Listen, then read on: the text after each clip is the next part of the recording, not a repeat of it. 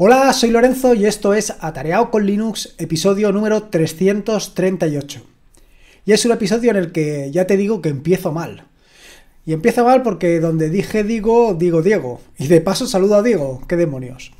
La cuestión es que al principio de esta temporada, de esta cuarta temporada, te comenté la cuestión que quería pues aparcar ligeramente Rust, eh, aparcar esta evolución, este aprendizaje de Rust, para centrarme en por cerrar distintos capítulos. Distintos capítulos que vienen siendo lo relacionado con algunas aplicaciones que he ido desarrollando en Python durante los últimos años y sobre todo durante estos últimos dos o tres años, las extensiones que he ido implementando, en este caso en JavaScript para Nome. Quería cerrarlas y quería cerrarlas más que nada porque con la nueva versión, con la versión 40 de Nome, pues me he encontrado con que muchas de las extensiones que había desarrollado hasta el momento pues no servían, con lo cual tenía que centrarme en esto. Sin embargo, la cuestión es que sí, quiero centrarme en esto, pero lo que no quería era abandonar Rust no quiero abandonar Rust porque estoy viendo que tiene mucho potencial, estoy viendo que puedo hacer exactamente lo mismo que estoy haciendo con Python y con JavaScript con Rust. Ha sido probablemente el Advent of Code, sobre el que te hablaré en este episodio del podcast, lo que quizás le ha puesto un poquito de grasa al engranaje, un poquito de grasa al conocimiento o a centrarme en que a lo mejor era el momento de dar el salto. ¿Y por qué dar el salto ahora? ¿Por qué no lo he dado antes? Pues básicamente, y te lo voy a confesar así, por miedo. Por, digamos, una falsa seguridad.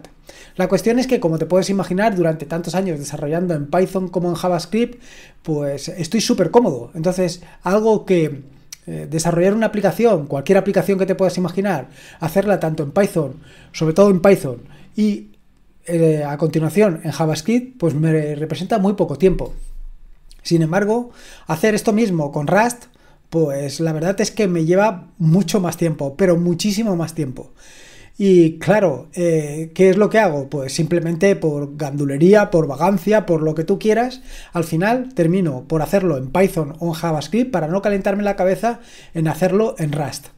¿Qué es lo que he conseguido? Bueno, pues lo que he conseguido ha sido durante este tiempo en el que he abandonado Rust, porque además lo he abandonado así como lo estás oyendo, para centrarme en Python y JavaScript, olvidarme completo de Rust. Precisamente esto es uno de los problemas de cualquier lenguaje, ya sea un lenguaje para hablar como un lenguaje para programar. Y es que conforme no lo utilizas, lo olvidas pero además con una peculiaridad, que es exactamente la misma peculiaridad que tienen los deportes. Es decir, uno de los grandes problemas con los que me encuentro habitualmente cuando eh, corro es que cuando eh, paso una temporada sin ir a correr, pues me encuentro que cuando me reinicio en ello, me cuesta una barbaridad. Es un verdadero padecimiento. Es como si nunca hubiera corrido. Y esto es un poco lo que me sucede con los lenguajes. Hace poco lo comentaba con el tema del valenciano y el inglés, pero también con cualquier lenguaje de programación. Y es que o lo practicas, practicas cualquiera de estas disciplinas que te he ido contando anteriormente, tanto el deporte como los lenguajes, como los lenguajes de programación, o los vas olvidando. Y además es la curva de aprendizaje muy pronunciada y la, curva de desaprendizaje muy rápida. O sea, lo que te cuesta em, aprender, lo que te cuesta prepararte físicamente, lo que te cuesta, bueno, cualquiera de estas cosas, una barbaridad, hacerlo, conseguirlo, eh, perderlo es facilísimo. Bueno, en fin, que tampoco me quiero poner aquí sentimental porque al final la situación en la que me encuentro actualmente con el tema de Rust es única y exclusivamente culpa mía, porque he querido dejarlo. Y he querido dejarlo sobre todo por lo que te he dicho, por gandulería y vagancia, porque una aplicación implementada en Rust me cuesta mucho más ahora mismo, evidentemente, que una aplicación implementada en Python. Esto hay que darle una vuelta, esto hay que darle una vuelta ya. Así que me he propuesto meterme de lleno con esto del Advent of Code, del calendario de adviento de desarrollo del calendario de adviento de código o del calendario de adviento de mm, programación, como lo quieras llamar. Así que ha llegado el momento de olvidarse de todos estos pequeños inconvenientes y meterse manos a la obra. Lo primero es hablarte sobre esto de los calendarios de Adviento, porque desde luego si no te dedicas al mundo de la información, de la informática o del desarrollo, probablemente pues no tengas ni idea de lo que es esto de los calendarios de Adviento. Bueno, miento, a lo mejor sí que lo sabes. El que no lo sabía era yo. Yo esto de los calendarios de Adviento, pues no tenía ni idea. Y no tenía ni idea precisamente por algo que no acabo de decir. Y es por los niños. O porque por lo menos en mi familia nunca ha sido, eh, ¿cómo te diría yo? Tradición. Nunca ha sido tradición esto de, pues, del calendario de Adviento.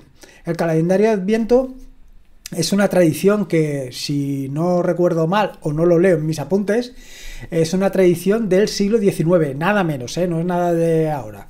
Es una tradición del siglo XIX en la que la tradición protestante, es una tradición protestante en la que cada niño todas las noches ponía una vela. Desde el domingo de Adviento hasta el día 24. Iba poniendo una vela y eso era lo que, lo que se llamaba el calendario de Adviento. Este calendario de Adviento ha ido evolucionando con el paso del tiempo y se ha convertido en que el niño o la niña, en lugar de poner una vela, en lugar de, vaya, eh, ¿cómo te diría yo? En lugar de hacer ese sacrificio, si se le puede llamar sacrificio a poner una vela, lo que hace es recibe un premio, recibe una chocolatina o recibe lo que sea. Eh, esos calendarios inicialmente, esos calendarios de Adviento inicialmente, pues simplemente era pues que le daban una chocolatina, poco a poco se fue convirtiendo en un calendario físico en el que habían unas pegatinas que poner, luego eh, en ese calendario había unas cajitas que abrías la cajita y dentro de la cajita había un regalo y así sucesivamente. Claro, yo esto no lo he vivido, con lo cual esto del calendario de Adviento como que no tenía ni idea de qué iba. Así que lo de eh, el Advent of Code ha, nacido y me ha traído a mí precisamente el calendario de Adviento.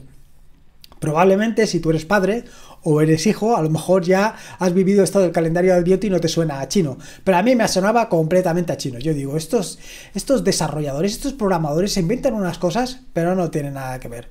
Al final es algo completamente distinto. Ahora, el calendario de Adviento de código, el calendario de Adviento de desarrollo, el calendario de Adviento de como lo quieras llamar, es una idea original de Eric Wassel. Eric Wassel es un desarrollador de software que trabaja como arquitecto senior en TCG Player y que además, pues, de inventar o de idear esto del Advent of Code, pues tiene algunos proyectos más que puedes ver directamente en su página web. He dejado en las notas del podcast un enlace a la página web para que sepas de qué va todo este rollo y tal y cual. En cuanto al Advent of Code, decirte que nació en el 2015, o sea que ya llevamos seis ediciones, y no es más que un calendario de adviento de puzzles, de puzzles, retos o como le quieras llamar. Eso ya depende un poco de ti, de cómo quieras llamarle. Pero al final no son más que pequeños puzzles, pequeñas eh, pequeños retos en los que tienes que resolver alguna cuestión, en los que tienes que conseguir, eh, utilizando un lenguaje de programación, el que tú quieras, llegar a obtener el resultado em, que se busca. Para esto, bueno, pues para esto te dan una serie de pistas y además eh, que resulta muy interesante que te dan como, como te diría yo, una primera aproximación. De manera que si tú con el, con el pequeño programa que hayas hecho consigues resolver la primera aproximación, probablemente consigas resolver el puzzle completo. Así que la cuestión es, bueno, a mí me resulta muy interesante. Me resulta muy interesante porque es una manera de poco a poco ir mm, profundizando, ir conociendo cuál es un lenguaje de programación o las opciones que tiene o incluso, bueno, pues aventurarte en algo más. Eh, recientemente he leído una entrevista que hicieron precisamente a Eric Wassel en Real Python, en el que además fue hace poco, hace unos, unos pocos días, en el que dice, eh, a ver si, me, si no me dice, cada problema esto, es, esto me llamó mucho la atención y cito textualmente a Eric. Dice, cada problema se completa en un máximo de 15 segundos en una máquina de hace 10 años. Esto me llama mucho la atención. Esto viene a recalcar que no necesitas nada del otro mundo. Incluso él mismo tampoco dice, o sea, también dice que no necesitas eh, profundos conocimientos de programación, sino que tengas un poco de idea de programación y luego pues habilidades a la hora de resolver pues, cuestiones, problemas, puzzles, en fin, un poco de iniciativa y un poco de idea. Pero ha sido sobre todo esta parte, lo de la cuestión esta de, de mm, una máquina de hace 15 años o de 10 años para que te hagas una idea que no van a necesitar ningún maquinón, ninguna, ninguna computadora de cálculo para poder hacer frente a estos, a estos pequeños retos. Porque al final es lo que te comento, son pequeños retos y la idea es afrontarlos y, bueno, sacarlos hacia adelante. Para esto, como decía anteriormente, no hace falta primero que tengas un gran nivel de programación y luego, por otro lado, tampoco hace falta que te centres en un lenguaje de programación. Pues puedes hacerlo en Python, JavaScript, lo puedes hacer simplemente en Bash, lo puedes hacer, yo te diría que en cualquier cosa, porque ya verás que es relativamente sencillo. Luego, en la misma entrevista, en la misma entrevista que le hicieron a Eric en Real Python, dice, y cito textualmente de nuevo, no te desanimes con los tiempos en las tablas de clasificación. Las personas que compiten por los tiempos de resolución realizan gran cantidad de programación competitiva durante todo el año y las cualidades para ser bueno en la programación competitiva son muy diferentes de las habilidades que hacen a uno un buen desarrollador. Esto me ha parecido muy interesante me ha parecido muy interesante porque, claro, eh, te puedes enfrentar a esto del Advent of Code, al calendario de Adviento de código, de distintos puntos de vista. Por un lado, te puedes enfrentar desde el punto de vista de que quieres aprender un lenguaje de programación nuevo, de que quieres aprender algunas características nuevas de ese lenguaje de programación o de un lenguaje de programación que utilices de forma habitual, o simplemente que quieres ser el number one, que quieres terminar el número uno como el primero que Vaya, el primero que ha resuelto cada uno de los puzzles. conforme vas avanzando, conforme vas desarrollando eh, o resolviendo los puzzles, vas subiendo en la posición. A mí realmente, para este caso en concreto, pues lo cierto es que no me preocupa en absoluto la posición en la que queda. La verdad es que, como te contaré un poco más adelante, eh, el enfrentarme de nuevo con Rust ha sido un duro golpe por lo que te diré. Bueno, y en la misma... Mm, entrevista que le hicieron al amigo Eric, al inventor del Advent of Code, dice, en lugar de preocuparte en ser el primero, céntrate en aprender un nuevo lenguaje de programación, o una característica del lenguaje, o en un algoritmo, o en encontrar la solución más eficiente, o simplemente enfócate en resolver unos pocos puzzles. Claro, al final se trata de eso. Bueno, se trata de lo que tú quieras, de lo que tú consideres. Pero a mí me parece muy interesante, me parece muy interesante porque muchas veces el problema con el que te puedes encontrar cuando quieres aprender un lenguaje de programación es eh, encontrar ejemplos donde aplicarlo. Muchas veces, pues simplemente ni te lo planteas. A lo mejor si estás pensando en que quieres resolver, como te estaba diciendo yo en la introducción del podcast, eh, muchas veces quiero hacer alguna aplicación, pues por ejemplo para eh, esto de las voces o para cualquier cosa que te puedas imaginar.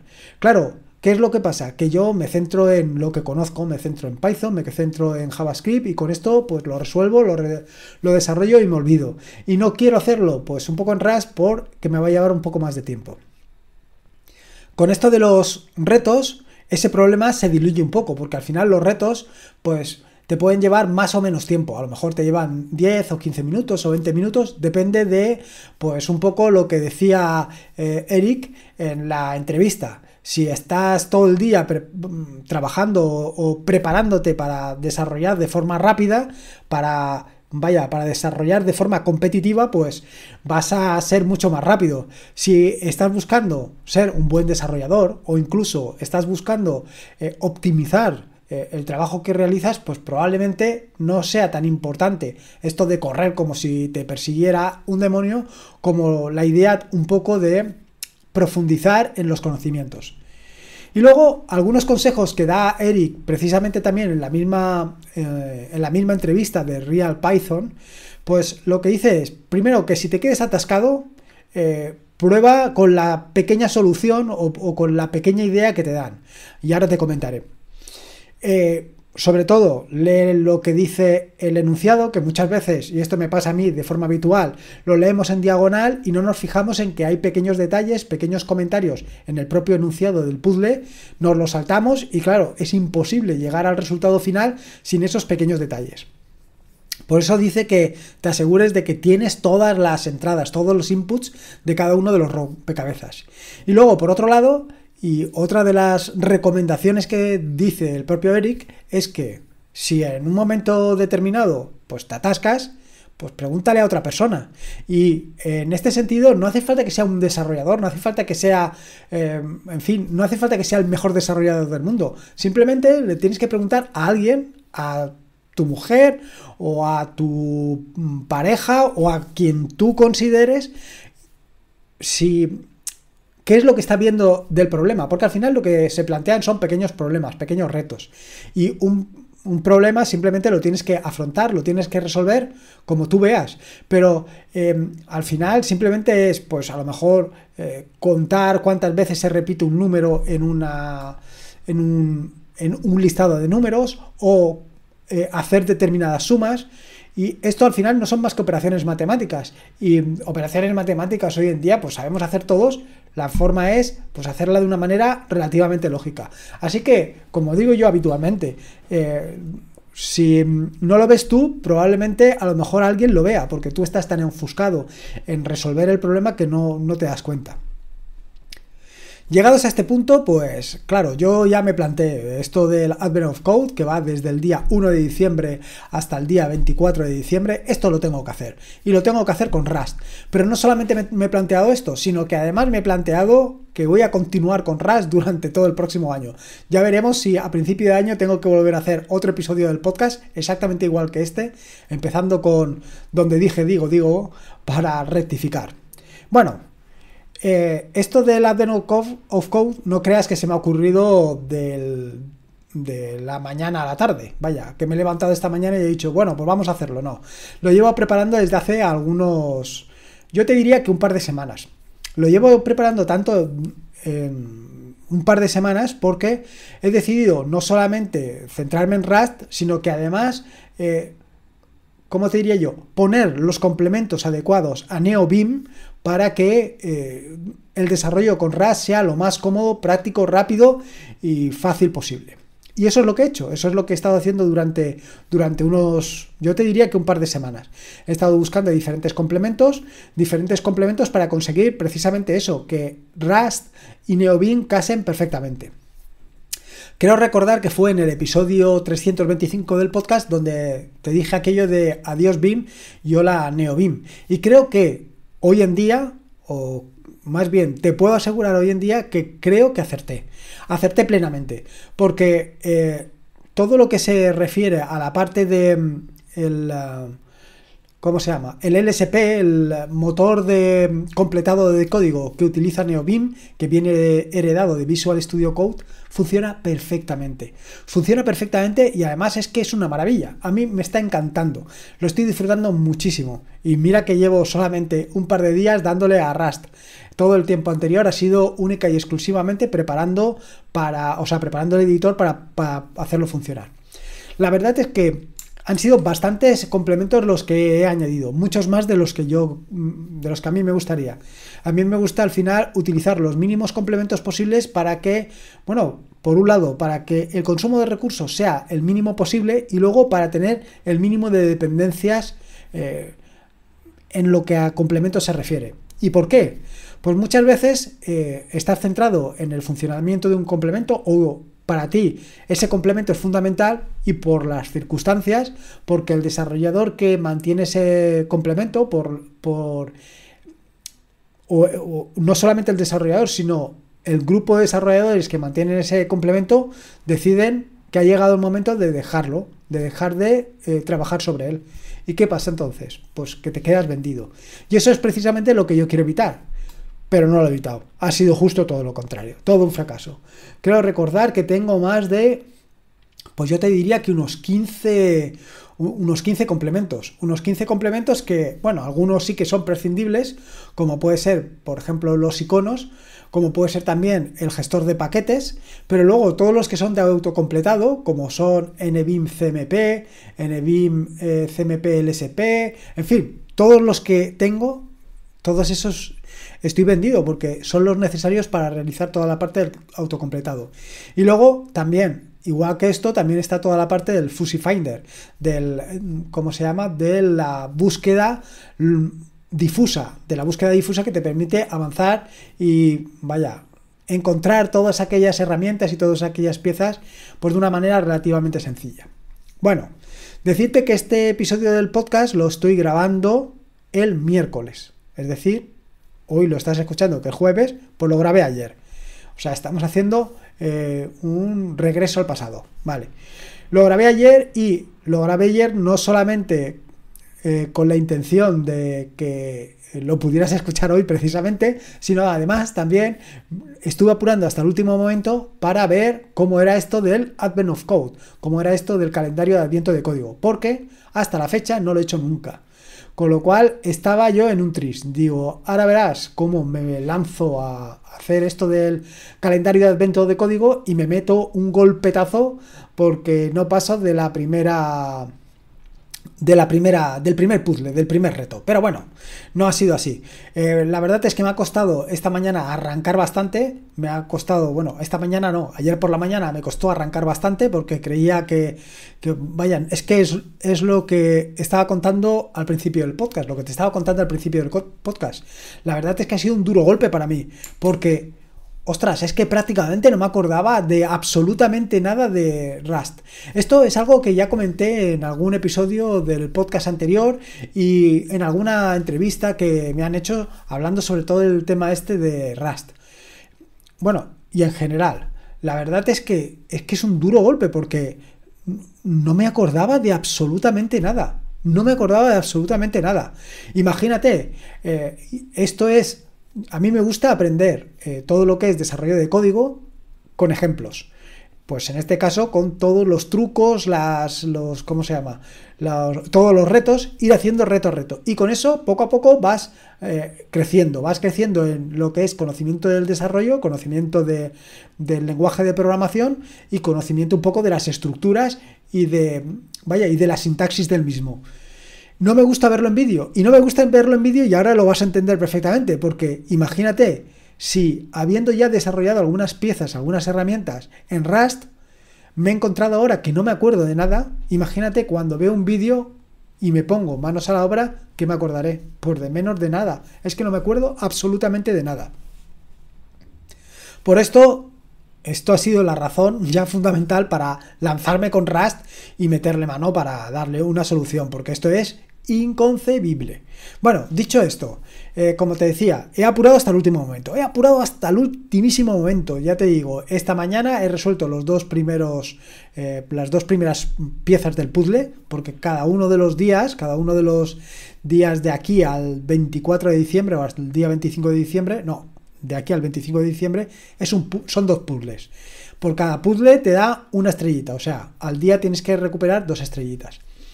La del día de hoy era relativamente sencilla, porque simplemente se trataba de... Eh, te daban un listado de números y tenías que ver cuántos números eran superiores al número anterior en una lista.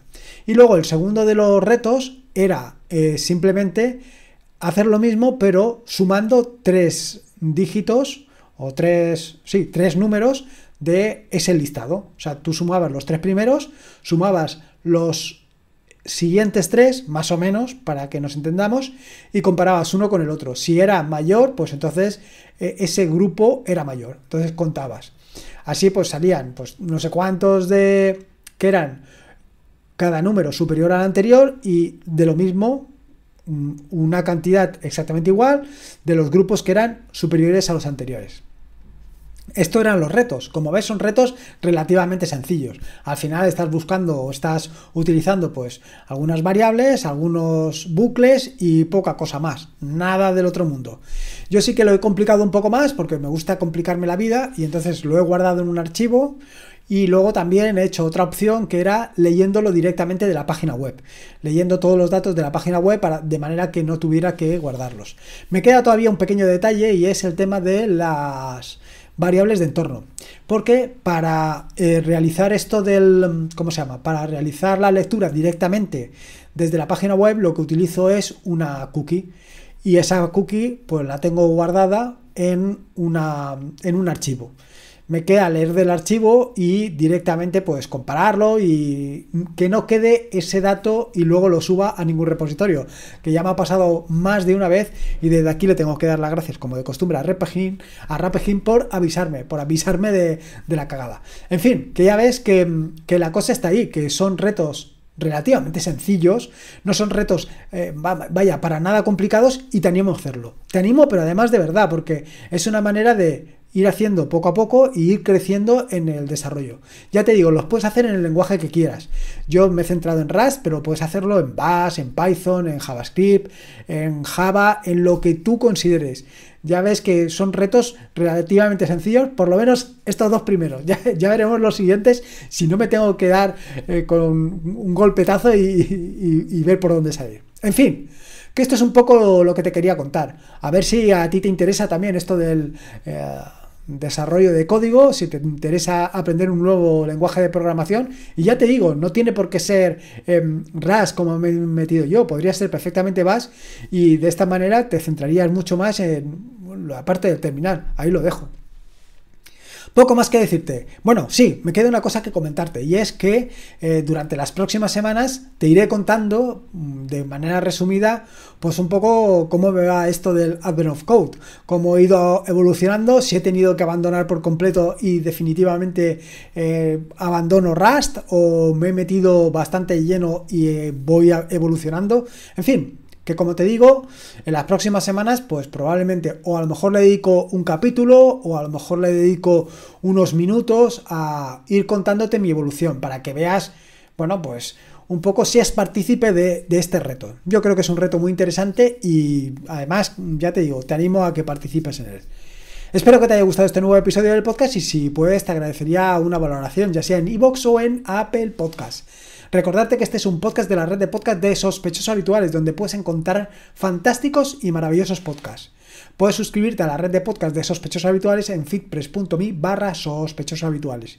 Y por último, y como te digo siempre, recordarte que la vida son dos días y uno ya ha pasado. Así que disfruta como si no hubiera mañana y si puede ser con Linux. Y en este caso con el calendario de Adviento para aprender algo nuevo, mejor que mejor. Un saludo y nos vemos el próximo lunes. Hasta luego.